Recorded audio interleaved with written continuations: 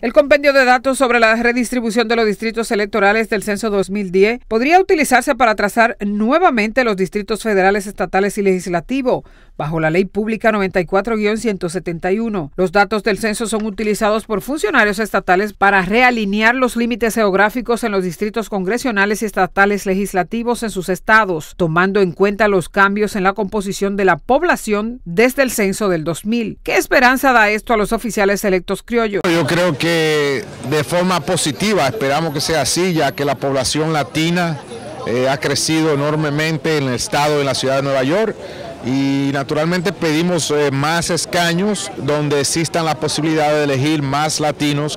Los datos sobre Nueva York muestran que los cinco lugares incorporados más poblados y su población según el censo del 2010 fueron Nueva York, Buffalo, Rochester, Yonkers, entre otros. Nueva York aumentó 2.1 millones por ciento desde el censo del 2000. Esto abre a organizaciones dominicanas y latinas que han unido esfuerzos para lograr tener un congresista federal más hispano en la nueva redistribución que se haga. Así lo expresa el director de la revista digital Vive las Noticias, Rafael Osoria.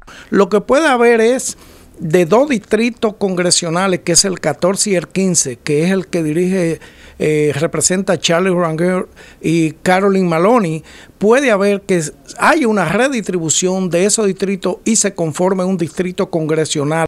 En esta oportunidad, tres dominicanos se ventilan como posibles candidatos, los senadores Adriano Espaillat y José Peralta y el asambleísta Guillermo Linares. Lo cierto es que los dominicanos aprovecharán grandemente lo que es un escaño federal, aprovechar para la redistribución de estos distritos electorales nuevos. En la ciudad de Nueva York, Mayra La Paz, Super Noticias.